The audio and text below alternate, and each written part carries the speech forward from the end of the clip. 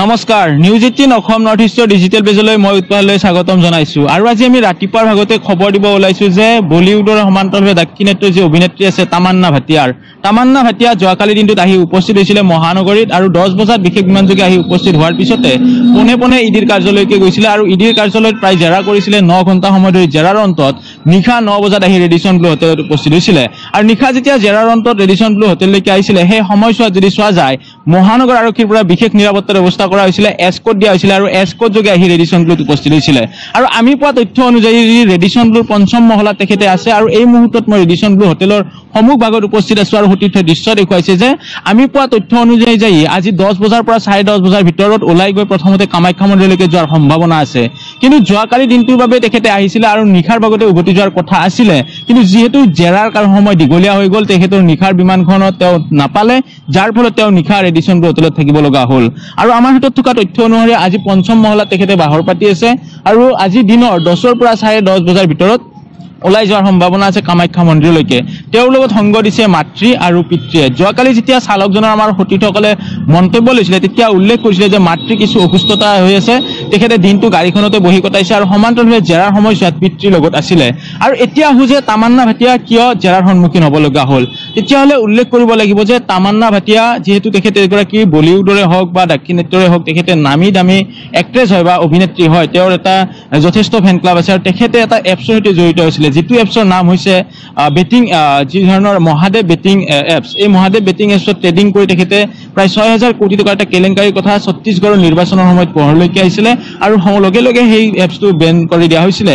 আৰু এই যি তথ্য ছত্তীশগড় চৰকাৰে প্ৰথম পৰ্যায়ত ঘূৰিছিলে বা ই ডিয়ে ঘূৰিছিলে বা আই টিয়ে যেতিয়া বিচাৰিছিলে তেতিয়া কিছু ভয়ংকৰ তথ্য আহিছিলে যে এই যিটো ট্ৰেডিং এপছ আছে এই ট্ৰেডিং এপছটোত যদি চোৱা যায় চৌদি আৰবৰ পৰা ইয়াতে ধন প্ৰয়োগ কৰা হৈছিলে বা ধন ব্যৱহাৰ কৰা হৈছিলে বা ধন তাতে খটোৱা হৈছিলে। আৰু এই অধিক ধনৰ মুনাফা লাভৰ বাবে বহু লোকক প্ৰৰোচনা কৰাৰ এটা অভিযোগ উত্থাপন হৈছিলে। তাৰ বাবে ইডিয়ে চমন জাৰি কৰিছিলে এপ্ৰিল মাহতে মুম্বাইৰ ফালৰ পৰা। কিন্তু মুম্বাইত হাজিৰ নহ'ল এইগৰাকী অভিনেত্ৰী। তাৰে পৰৱৰ্তী পৰ্যায়ত দিল্লীৰ পৰা চমন দিয়া হ'ল। দিল্লীতো কিন্তু হাজিৰ নহ'ল।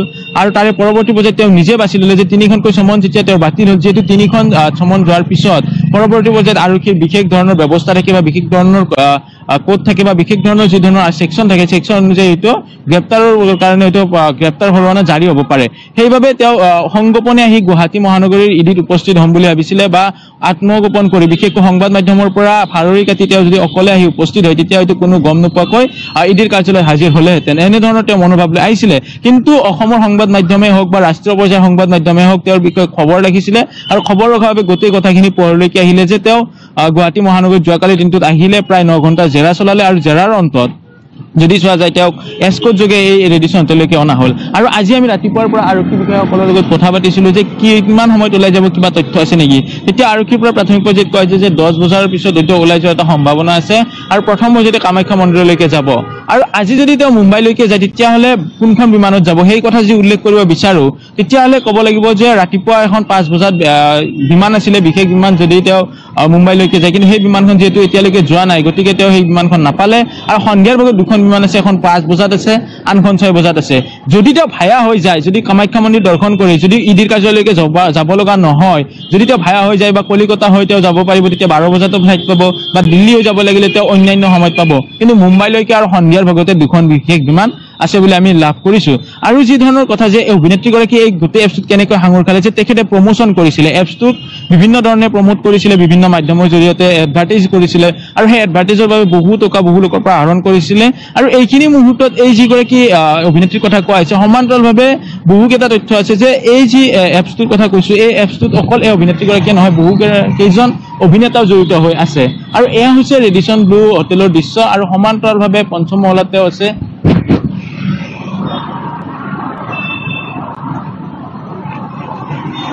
তামান্না ভাটিয়া পঞ্চম মহলাত আছে আৰু সমান্তৰালভাৱে বলিউডৰ অভিনেতা সঞ্জয় দত্তৰো নাম সাঙুৰ খোৱা পৰিলক্ষিত হৈছে।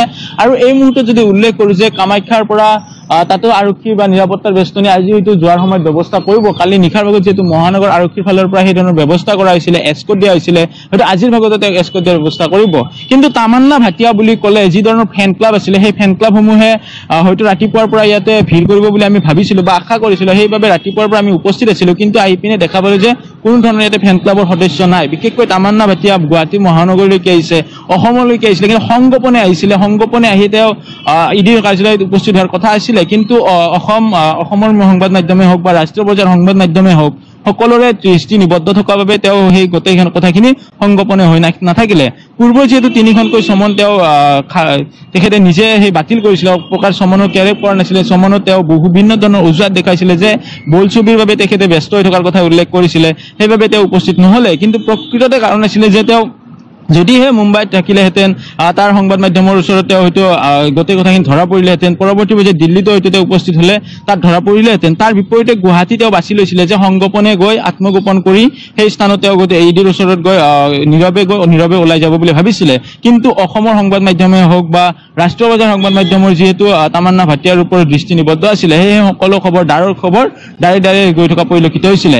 আৰু এই যি মহাদেৱ বেটিং এপছৰ কথা কোৱা হৈছে এই এপছটো কিন্তু বিভিন্ন ধৰণে ট্ৰেডিং এক প্ৰকাৰ হৰ্চ ট্ৰেডিঙৰ নিচিনাও তেখেতসকলে কৰাৰ এটা আন এটা অভিযোগ উত্থাপন আছে যে ঘপককৈ টকাটো বেছিকৈ দেখুৱাই দিয়ে আৰু লগে লগে সেই টকাটো নামাই দিয়ে। যি ধৰণৰ যি গ্ৰাফডাল থাকে গ্ৰাফডাল পলকতে উঠি যায় আৰু পলকতে নামি অহাৰো কিন্তু কিছু কিছু তথ্য লাভ কৰিছে যাৰ বাবে ছত্তীশগড় চৰকাৰে প্ৰথমতে নিৰ্বাচনৰ সময়তে এইটো বন্ধ কৰি দিলে। পৰৱৰ্তী পৰ্যায়ত যদি চোৱা যায় সমগ্ৰ ভাৰতবৰ্ষতে বন্ধ কৰি দিয়া হ'ল। আৰু এই বহিৰাষ্ট্ৰৰ টকা ইয়াতে বিনিয়োগ হৈ থকাৰ কথা পোহৰলৈকে আহিলে তাৰে পিছতে এজন এজনকৈ কেইবাজনকো চমন জাৰি কৰিলে আৰু চমনৰ পিছতে তামান্না ভাটিয়ালৈকে হৈ চমন গ'ল যিহেতু তেওঁ এই বিজ্ঞাপনটোত বিজ্ঞাপন কৰিছিলে। তাৰ বাবে তেওঁৰ ওচৰলৈকে চমন গ'ল আৰু চমন যোৱাৰ পিছতে যদিহে চোৱা যায় তেওঁ মুম্বাইৰ পৰা চমন গ'ল মুম্বাইত হাজিৰ নহ'লে দিল্লীৰ পৰা চমন গ'ল দিল্লীত হাজিৰ নহ'লে তেওঁ নিজে সংগোপনে আহি আত্মগোপন কৰি গুৱাহাটী ইডিত উপস্থিত হ'ম বুলি ভাবিছিলে। মই পুনৰ কৈছোঁ যে সংবাদ মাধ্যমৰ দৃষ্টি নিবদ্ধ থকাৰ বাবে তেওঁ সংগোপনে এইখিনি কাম কৰি যাব নোৱাৰিলে। আৰু তেওঁ এটা দিনৰ কাৰ্যসূচী লৈ আহিছিলে যে যোৱাকালিৰ দিনটোত জেৰা শেষ হোৱাৰ পিছতে তেওঁ নিজৰ ঘৰলৈকে উভতি যোৱাৰ কথা আছিলে। কিন্তু জেৰা কাৰ্য যিহেতু দীঘলীয়া হ'ল দীঘলীয়া হোৱাৰ বাবে তেওঁ কোনো ধৰণৰ ইয়াৰ পৰা যাব নোৱাৰিলে নিশাৰ প্লেন নাপালে বা ফ্লাইট নাপালে বিমানখন নাপালে। তাৰ বাবে ৰেডিচনবোৰ পঞ্চম মহলাত থাকিব লগা হ'ল। আৰু নিশাৰ ভাগত যেতিয়া স্থানলৈকে আনিছিলে জেৰাৰ অন্তত ন বজাৰ পিছত তেতিয়া আৰক্ষীৰ বিশেষ ধৰণৰ এস্কট দিয়া হৈছিলে আৰু সেই নিৰাপত্তা দি তেখেতক অনা হৈছিলে। আৰু আজি যেতিয়া হয়তো কামাখ্যালৈকে যাব আৰক্ষীৰ ফালৰ পৰা হয়তো নিৰাপত্তা দিয়াৰ সম্ভাৱনা আছে। কাৰণ আমি যিহেতু টিভিৰ বাতৰিত উল্লেখ কৰিছিলে যে যেতিয়া এইফালেৰে আমি বাতৰি কৰিছিলোঁ সেই সময়তে দুখনকৈ এস্কট বাহন আহিছিলে আৰু সেয়া আছিলে জালুকবাৰী থানাৰ অধীনত যিহেতু ৰেডিচন ব্লু পৰে। সেই জালুকবাৰী থানাৰ পৰা দুখন এস্কট আহিছিলে আৰু ৰাষ্ট্ৰীয় ঘাইপথতো হঠাতে এক প্ৰকাৰ আহ, যি ধৰণৰ আহ, হোমগাৰ্ডে ডিউটি কৰে সেই ডিউটি কৰা পৰিলক্ষিত হ'ল। কিন্তু ৰাতিপুৱাৰ ভাগৰ পৰা কৰ্তব্যত নাছিলে। অৰ্থাৎ হয়তো কিছু তেখেতসকলৰ ওচৰত খবৰ আছে যে ওলাই যোৱাৰ হয়তো সম্ভাৱনা আছে। আৰু আমি উল্লেখ কৰিছোঁ যে মাতৃ আছে লগত পিতৃ আছে। যোৱাকালি আমাৰ সতীৰ্থই মন্তব্য লোৱাতে চালকগৰাকীয়ে উল্লেখ কৰিছিলে যে এঘাৰ বাজি চল্লিছ মিনিটত সেই স্থানৰ পৰা বিশেষকৈ আহ, বিমানবন্দৰৰ পৰা ইডিৰ কাৰ্যালয়কে ৰাওনা হৈছিলে। ইডিৰ কাৰ্যালয় প্ৰায় একৰ পৰা ডেৰ বজাৰ ভিতৰত পাইছিলে।